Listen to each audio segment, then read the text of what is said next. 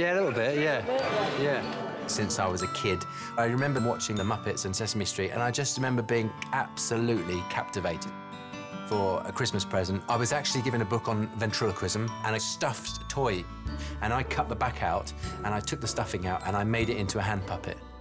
So when all my friends were out chasing girls, and I was in the mirror learning A, B, C, D, you know, and why anyone would want to do that, I don't know, but I decided that that was, you know, that was for me. I've now been doing this for about 25 years, and I've come to America's Got Talent because if you can make it here, then you've really made it. You can have fun being a ventriloquist, right? This is what I like to do to confuse the sound man. Hello? Hello? it's not working. I've got so much more I want to show, and I've been given the opportunity now. This is my chance to make my childhood dream a reality.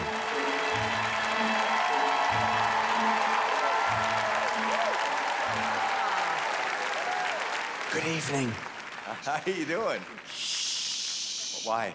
Not so loud. Sleeping. Oh, you brought. Oh, it's bringing. Oh, you brought. Really sorry, I couldn't find a babysitter. Fantastic last time. Thank you very much. Why are we all whispering? Now look what you've done.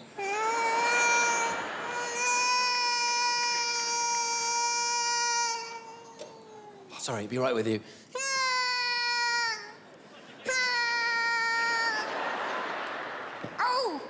Oh! hey, What? that mirror. What? That mirror's not working. Mirror? That's not a mirror. That, that's Howie. Daddy! No, no. So listen, you go to sleep now. I want story. What? Story. What? I want a story. We haven't got time for the story. Story. No, no, we haven't got I time. want a story. Okay, okay. All right, I'm really sorry. If I tell you a quick story, you promise me you go to sleep straight away. This is the story of Little Red Riding Hood. Red Riding Hood. Yeah, shh. She was walking through the woods on the way to her granny's house when all of a sudden out jumped a big bad wolf. Wolf! Yes, a nasty one with big horrible teeth. No, don't like it. No, but it's part of the story. Don't like that one. No, but it has to be. Don't like it. Okay, Change it. all right. Okay, I'll change it. What, what, what do you want me to change it to? Duck. The thing is with the story, it won't work as a story if it's a duck. I want a duck. Okay? Okay. It wasn't a big bad wolf. No. It was a big bad, um, duck. Big bad duck. Yeah. No. Fluffy yellow duck.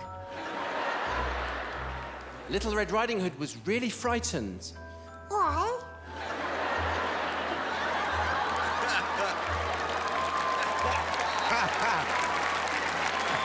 Well, because she wouldn't be frightened of a fluffy yellow duck, would she? No. Hence, you've done it again, and my story doesn't work.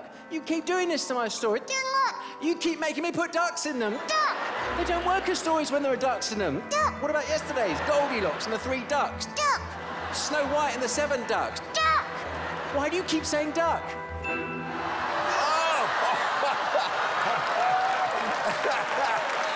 Good finish. Yeah.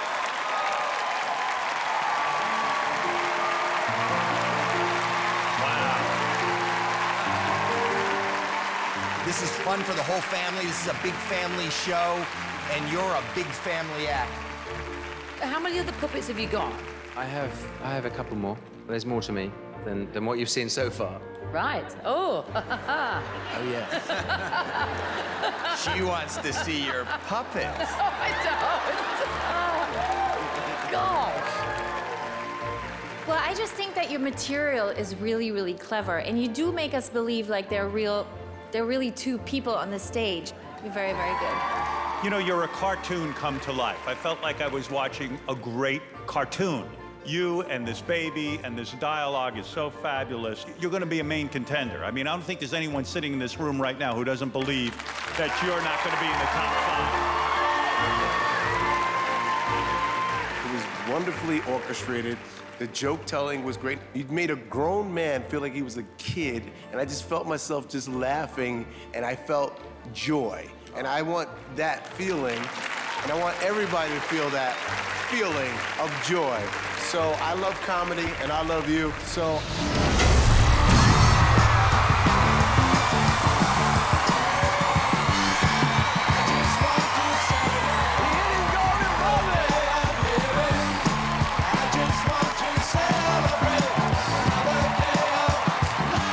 to compliment Marlon on his choice because I feel like we've got a great guy in you. That's such a talent. What a gift you have.